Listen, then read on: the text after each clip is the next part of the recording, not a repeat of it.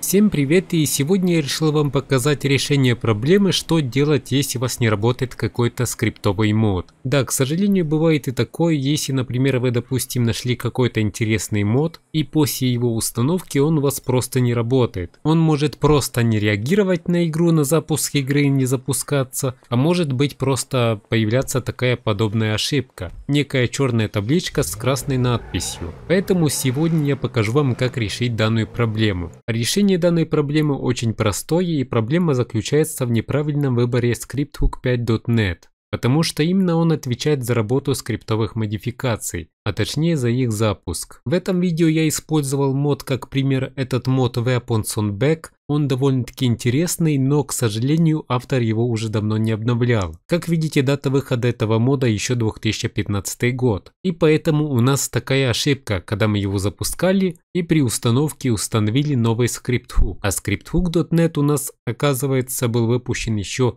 8 августа 2022 года. Подумайте сами, 7 лет прошло с момента выхода этого мода и как его запустить. Многие также в комментариях здесь пишут «надо обнову», «не работает у меня мод этот, допустим» и так далее. То есть многие люди хотят его установить, но не знают как, потому что он у них не запускается. Суть установки и решения проблемы с такими скриптовыми модификациями очень проста. Вам нужно просто найти тот э, scripthook.net, который будет работать с этим модом. Это сделать очень просто, просто смотрите на дату и видите, что здесь 2015 год, и надо установить scripthook.net приближенный, плюс-минус 1-2 года. Просто перейти на официальный сайт, и здесь есть старые версии scripthook.net. Здесь есть э, написаны года, и устанавливаете тот, который соответствует э, тому моду. В большинстве случаев scripthook.net 2.2 работает э, на старых модификациях, поэтому нужно перейти на страницу,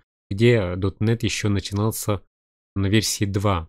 Либо вторая страница, там он начинается. Это может быть работать скриптунг 2.10.10, либо же я рекомендую еще дальше пойти и скачать себе, допустим, вот этот за июль 2017 года. Просто нажимаете на этот scripthook.net, который соответствует этой модификации плюс-минус 1-2 года, как я уже говорил, нажимайте и скачивайте его отсюда. Далее, чтобы его правильно установить, нужно зайти в папку вашей игры GTA 5 и удалить оттуда старый scripthook.net, потому что если вы закинете еще этот сюда, то, конечно же, он у вас работать не будет. Надо сначала удалить тот, вернее, новый scripthook.net за 2022 год или еще новее. Удаляете его, и тогда устанавливаете вот этот старый за 17 э, год, который будет работать с нашей этой модификацией, которой мы хотим с ней поиграть.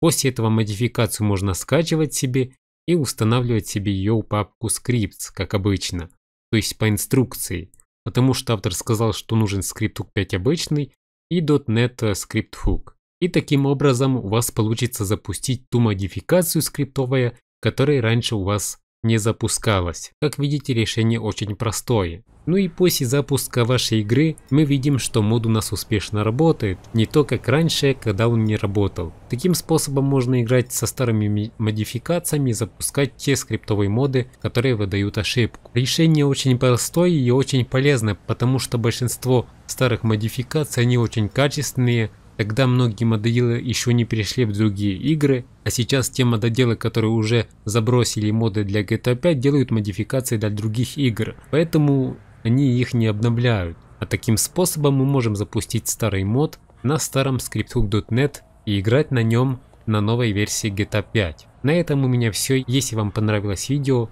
ставьте лайки и подписывайтесь на канал. Всем спасибо за просмотр.